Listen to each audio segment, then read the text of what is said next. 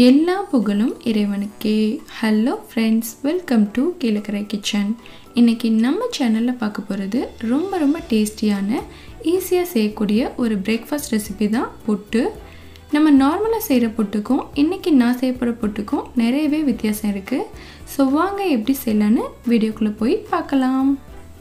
இந்த ரெசிபி செய்கிறதுக்கு தேவையான பொருட்கள் அரை கிலோ ரவை ஒரு பெரிய சைஸ் தேங்காய் நூற்றி ஐம்பது கிராம் சின்ன வெங்காயம் நூற்றி ஐம்பது கிராம் கேரட் ஒரு டீஸ்பூன் சோம்புத்தூள் ஒரு டேபிள் ஸ்பூன் மாசித்தூள் அஞ்சு பச்சை மிளகாய் தேவையான அளவு சால்ட் இது ப்ரிப்பேர் பண்ணுறதுக்கு ஃபஸ்ட்டு நம்ம மாவு ரெடி பண்ணிக்கிடலாம். இதுக்கு ஒரு பெரிய பாத்திரம் எடுத்திருக்கேன். இதில் அரை கிலோ வறுத்த ரவையை சேர்த்துக்கிறேன். அப்புறமா துருவி எடுத்து வச்சிருக்கிற ஒரு தேங்காயை ஆட் பண்ணிக்கிறேன் இப்போ இதை கைகளாலேயே நல்லா பிசைஞ்சு விட்டுக்கோங்க. இதில் தண்ணி எதுவுமே சேர்த்துற வேணாம். நம்ம நல்லா பிசையும் போது தேங்காயிலேருந்து வரக்கூடிய அந்த பால்லையே இந்த ரவை எல்லாமே நல்லா வெட்டாயிடும்.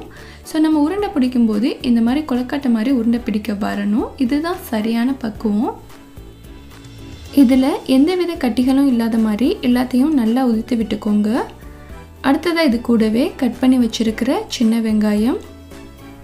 கட் பண்ண கேரட்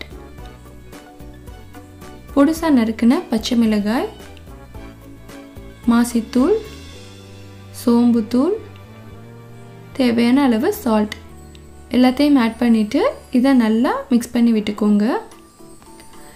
நார்மலாக நம்ம புட்டு வந்து ரைஸ் ஃப்ளார் யூஸ் பண்ணி தான் செய்வோம். பட் இன்றைக்கி நான் வந்து ரவை யூஸ் பண்ணி செஞ்சுருக்கேன். இது நல்லா இருக்குமாட்டு உங்கள் நிறைய பேருக்கு டவுட் இருக்கலாம். டெஃபினட்டாக சூப்பராக இருக்கும். அண்ட் இது கூட நம்ம மாசித்தூள் அப்புறம் கேரட்லாம் சேர்க்குறதுனால இது ரொம்பவே ஆப்டாக இருக்கும். இதை எல்லா பக்கமும் நல்லா ஈவனாக மிக்ஸ் பண்ணி விட்டுட்டு ஒரு அரை மணி நேரத்துக்கு மூடி வச்சிடலாம். இதை நல்லா ஊறி வரட்டும். ஹாஃப் அன் ஹவர் ஆயிடுச்சு. ஓப்பன் பண்ணி பார்க்கலாம். இன்றைக்கி நான் இந்த புட்டு மேக்கரை யூஸ் பண்ணி தான் புட்டு செய்ய போகிறேன் அப்புறமா இது கூட பிளேட் மாதிரி ஒன்று கொடுத்துருப்பாங்க. இதை தான் புட்டு மேக்கரோட பேஸில் போடணும். இப்போது இந்த ஊற வச்ச ரவையை நம்ம புட்டு மேக்கருக்குள்ளே சேர்த்துக்கிடலாம்.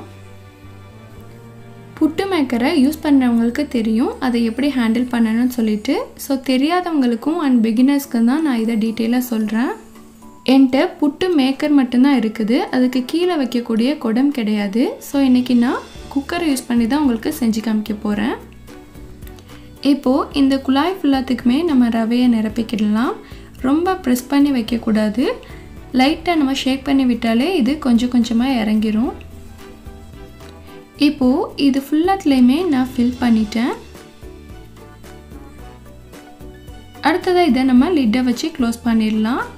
ஸோ இதுக்கு கீழே இருக்கக்கூடிய இந்த ஹோல்ஸை வந்து நம்ம குக்கரோட விசில் போடுற அந்த இடத்துல இன்சர்ட் பண்ணிடுங்க இது ஆவியில் வேகும்போதே நல்ல மனமாக இருக்கும். தீயை ஹை ஃப்ளேமில் வச்சிங்கன்னா இது குயிக்காக வெந்துடும் ஸோ இப்போது வெந்துருச்சு நான் எடுத்துட்டேன்.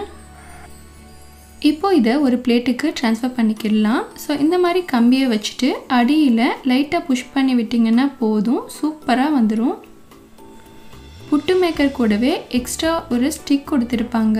என்னோட மிஸ் ஆயிடுச்சு. ஸோ அதனால் இந்த மாதிரி கம்பி யூஸ் பண்ணியிருக்கேன். ஸோ இதே மாதிரி இன்னொரு புட்டையும் செஞ்சு காமிக்கிறேன். இப்போது ஹெல்த்தியான டேஸ்டியான புட்டு சூப்பராக ரெடி ஆகிடுச்சு இதுக்கு சைட் டிஷ்ஷே தேவைப்படாது அப்படியே சாப்பிடலாம். மார்னிங் டைமில் ஆயில் சேர்க்காத இந்த பிரேக்ஃபாஸ்ட் ரெசிபியை ஒரு முறை ட்ரை பண்ணி பாருங்கள் இனி அடிக்கடி செய்வீங்க.